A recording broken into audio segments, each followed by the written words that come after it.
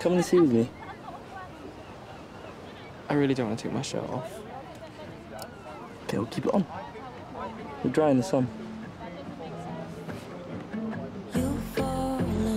I knew that when I saw Nick's biceps out, the body image was going to come into this. Heartstopper is back, and I love it. You know I love it. I've done reaction videos to seasons one and two, and I was so excited to delve in to season three.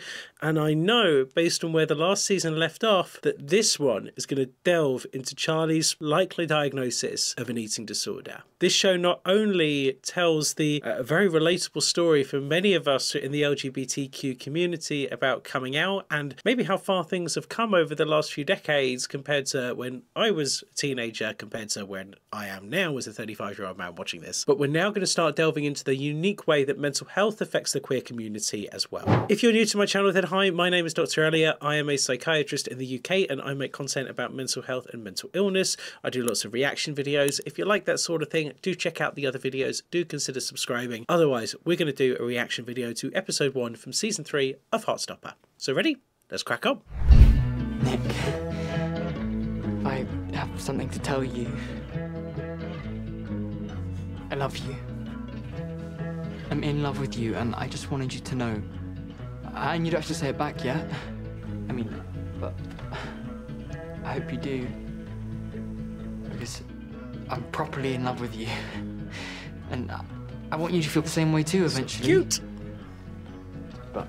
When I was growing up, gay couples on TV were complete stereotypes. Femme gays and camp gays were the butt of the joke. There were no rom coms with gay couples. There was no Ross and Rachel, will they, won't they? And I think that's why so many adults, particularly gay millennials, are so invested in this show. Proud that it exists, but at the same time wishing it existed when we were this age. I know I needed a show like this when I was 15 or 16, and I didn't have it.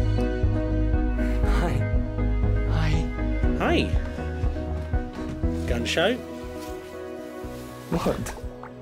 I've never seen you in a vest before. Well, I've never seen you in a cap before.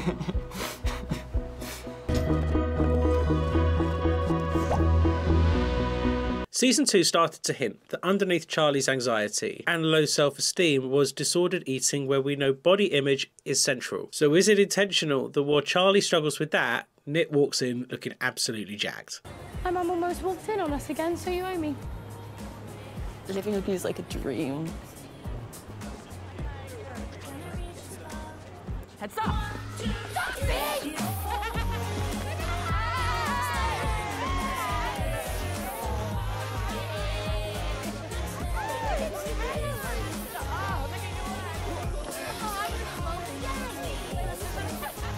The representation on this show around sexual orientation, gender identity, intersectionality, it's so wonderful, but also the storylines highlight the very real minority stress that still exists and the discrimination that can still break up families. Queer people can then be very reliant on chosen families, often instead of biological ones, not in addition to. I love you. oh. Well, thank you. Um, I- I think it's too early for me to say that. Sorry.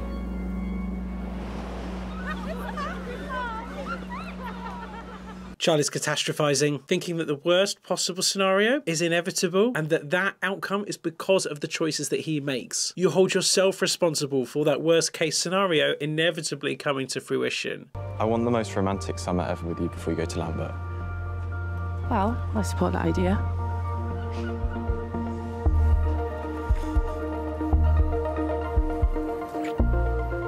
The sparks and the butterflies are so cute. Yes, it's cheesy, but it's also really cute. And there are so many straight rom coms out there about childhood sweethearts. And I think this show tries to level the playing field and show that queer people can have that too. Chris? I'm alright, thanks. You okay? You seem kind of stressed out. A little bit. I want to tell Nick that I love him. Charlie, you're already dating him. Yeah, I know, but I want to say the words I love you. Let's recap from last season about Charlie's eating. Charlie's been making excuses to avoid eating, and his anxieties over food were becoming much, much more evident to Nick, which burst this bubble of everything's perfect, right? But Nick wasn't avoiding that food issue. And that would be very easy to do because it's an incredibly hard topic to broach. What we weren't privy to is why he's been restricting, except that Charlie, at least on a conscious level, was perceiving it to be about control, exerting control in situations that otherwise he doesn't have control in. And I anticipate that this season is going to delve into that more, but it's going to be such a point of vulnerability for him that I hope he doesn't push everybody away. You know I get stressed out of this stuff. Oh, yes, I am very aware. Well, why don't you just sit here staring at him all day instead, then? I'm not, I'm not staring. Haven't you already seen him shirtless in the changing rooms? yeah, this is an entirely different context. Right.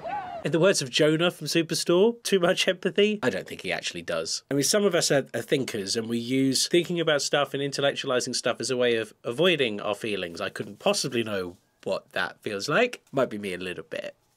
little bit. Others wear their heart on their sleeve, and their emotions are really evident to the people around them. But emotions don't usually just stay with you, they bounce between people. They affect relationships where the emotional states of both parties or all parties involved affect one another. And because you know your emotions are so on display and affecting somebody else, that can make people feel guilty about being an emotional burden on other people. That gives us a bit of a glimmer into Charlie's stress and anxiety. And while stress doesn't cause an eating disorder, stress does affect an eating disorder, and eating disorders are rarely seen purely in isolation.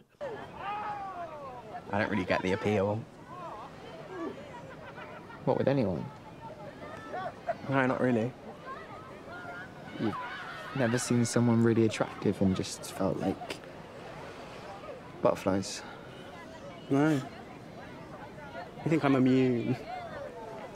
Charlie's kind of acknowledging that maybe he's got a bit of a blind spot here. Can't really relate to Isaac. I suppose he's trying to take steps to understand him, which is better than the alternative, which is thinking that you know it and thinking that you get it when actually you don't. I mean, don't get me wrong, from Isaac's point of view, having to explain yourself and how you feel and part of your identity and existence over and over again is knackering. So hopefully then Charlie does his own research into asexuality rather than just Isaac having to give every single one of his friends a tutorial on what asexuality is. Think that's like. Do you think you're asexual then? Probably.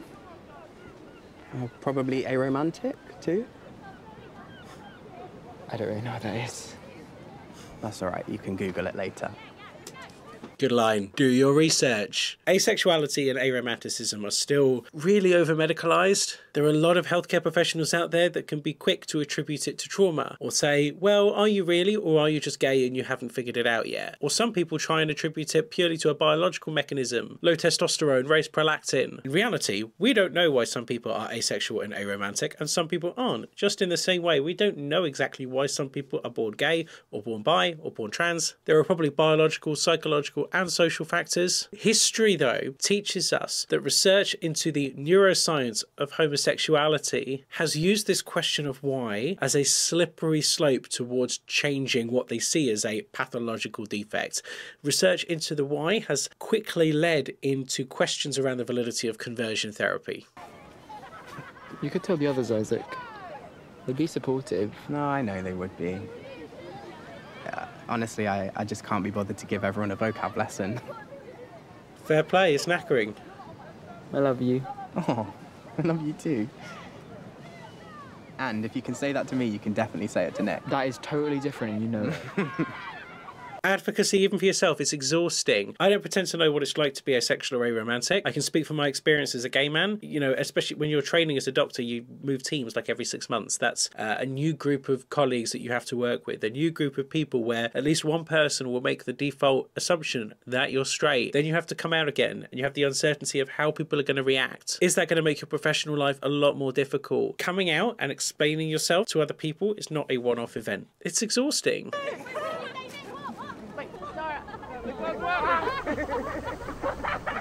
My mum used to tell me never to talk with my mouth full.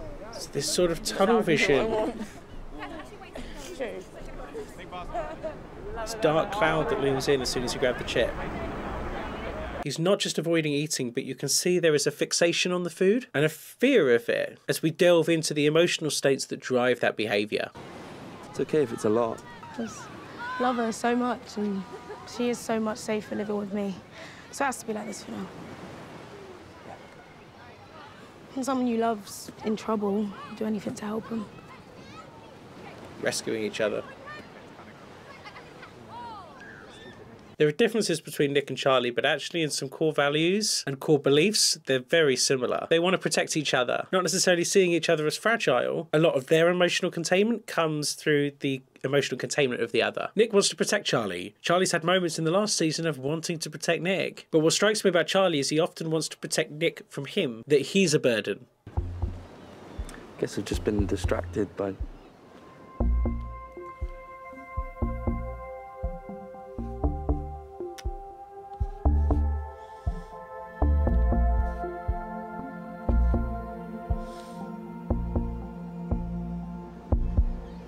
Things. Anorexia nervosa is actually one of the less common eating disorders, even if it's one of the most well known. It's less common in society than binge eating disorder and bulimia. But in my clinical experience, it is the eating disorder that can cause some of the gravest and most serious complications, particularly the physical health consequences of malnutrition. Anorexia is characterized by people restricting the amount that they eat, often creating rules around what they eat, when they eat, and chasing a weight target that just keeps dropping lower and lower that you never fully achieve. It's an ever moving target that's driven by distorted body image, seeing yourself as much more overweight than you actually are. The diagnosis is no longer dependent on weight or BMI, nor should it have ever been dependent on that. There's something I need to talk to Charlie about. There's something serious. It's hard to know how to talk to him about it you know, without making things worse. You're doing your best. That's all you can do. Yeah, so he. Can we go in the sea again, please? How do you approach this conversation? It's so difficult as a family member. I've only ever been in this position as a doctor, not as someone that's had a loved one with an eating disorder. And as a doctor, it's different. My job is to try and make the right diagnosis, understand the person that's in front of me, and try and engage them in the right treatment. The success of my job is not measured in whether people like me or not, though obviously it's it's, it's nicer and it's better if they do. But sometimes the right advocacy that I need to do as a doctor involves challenging people, disagreeing with people, broaching topics that people don't want to broach, telling people things that they don't want to hear. And then my job is to cop that and to be the one that cops that to shield the family from copying that because actually their closeness and the trust between family members and the patient is so core to the success of long term treatment. Come and see with me. I really don't want to take my shirt off. Okay, we'll keep it on. We're dry in the sun. I knew that when I saw Nick's biceps out, the body image was going to come into this. Body dysmorphia is a risk factor for a range of mental illnesses. People with anorexia will see themselves as overweight, despite all evidence to the contrary. That core belief is one of the factors that drives the anxiety and drives the restrictive behaviours, trying to chase and achieve a weight target that just keeps dropping lower and lower and lower, because the core belief never shifts. All the restrictive behaviours seek to do is confirm the core belief. I think you have an eating disorder. Don't run, Charlie, don't run. I've been doing some research and um, I know you don't want me to try and fix you or anything. I just care about It's you like so the walls much. are closing in on see how him. much worse it's been getting recently. I'm just trying. I don't think I do. The anxiety and the fear that the person he loves has seen the vulnerability, that maybe he's let the mask slip, that he's seen the person underneath the defences that maybe he sees as flawed. Nick has seen the thing that Charlie has been so desperate to hide from and run from and maintain some degree of denial. That person that's seen you is also the person that you fear losing more than anything else in the world. Don't run, Charlie, don't run, don't run. I, I know that I've got some issues. I, I don't think they're that bad. Minimising a little bit. Common defence. Sure. Yeah, I'm fine. You don't need to worry about me. Family members and loved ones that broach this topic in such a caring and empathetic way, you are gold because you risk bearing the brunt and being pushed away. The right thing to do at this point is leave the conversation, let it simmer, and just keep being with the person, telling them that you care. Because hopefully, then Charlie will realize well, if other people have seen it as a problem, maybe it is a problem, but they've not left me. They've seen this part of me, and yet they're still here. And that challenges this different core belief that he's got that if people know the real me, they'll leave. Moving people towards insight into into the severity and significance of these problems, it's a journey. It's not quick. Are you angry at me? They're both anxious and scared. No. No. Is that what you wanted to talk about as well? Yeah. They're both anxious and scared that the other will push them away. They have much more things in common than the things that they don't. I was actually going to say that.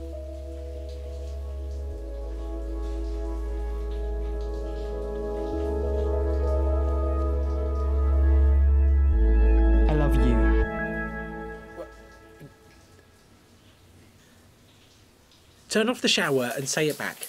Come on.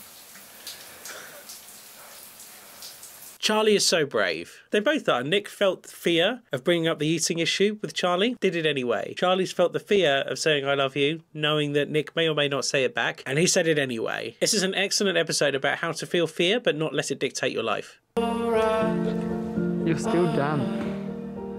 Yeah, well, you're the one who said I love you for the first time when I was in the shower. Oh, why did I do that?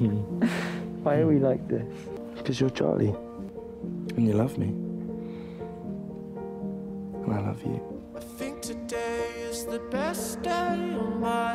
Thank God he said it back. I need the containment of knowing the relationship is secure as we delve into this issue of anorexia. Let me know what you thought in the comments below. And as the season goes on and we watch more episodes, I'd really like to know if any of you have got your own lived experience with conditions like OCD, anorexia, body dysmorphia. Do you think this representation is accurate? Which bits do you think they get right? Which bits do you think they get wrong? If you're comfortable, let me know in the comments. And if you haven't already, why don't you go back all the way to the start of season one and watch my first reaction videos to Heartstopper. Otherwise, I'll keep going on season three very, very soon. Love you, bye.